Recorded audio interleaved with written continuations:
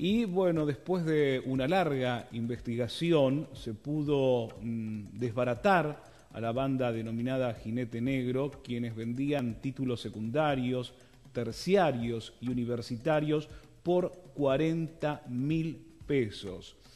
Eh, son en total ocho personas las que fueron acusadas de falsificar y comercializar documentación pública apócrifa.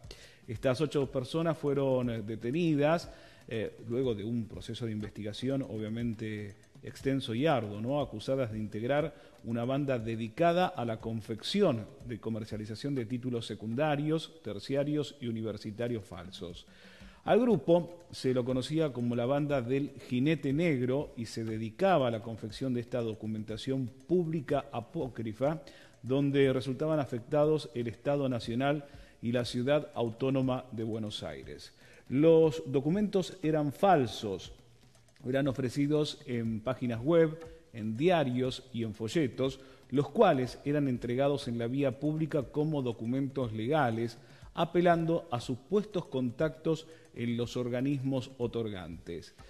La policía en su momento realizó varios allanamientos en los distritos bonaerenses de Morón, Lomas de Zamora y Avellaneda, en los que justamente se secuestraron sellos e impresoras, entre otros elementos con los que se confeccionaban los títulos truchos.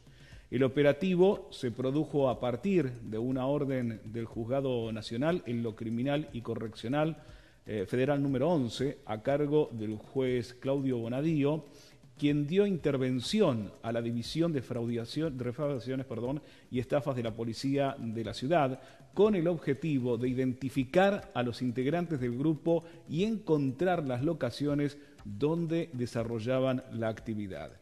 De acuerdo con la investigación, la banda captaba a sus potenciales clientes por medio de los anuncios donde se facilitaban números de teléfonos de contacto. Luego de la primera comunicación, vía WhatsApp, se terminaba de cumplir con los requisitos necesarios para la confección del título apócrifo. ¿eh? La cuestión es que le cobraban a cada persona 40 mil pesos para dar un título de una profesión o una carrera absolutamente inexistente. ¿eh? Bueno.